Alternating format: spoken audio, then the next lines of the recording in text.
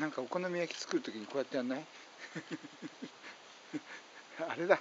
お好み焼きじゃなくてなんだっけ？あのほら。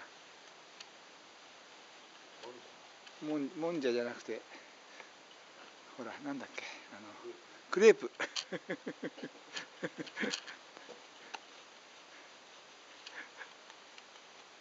コ ンピーコン。コン。泡立ちいい？濃いんじゃない？多分 シャンプーが。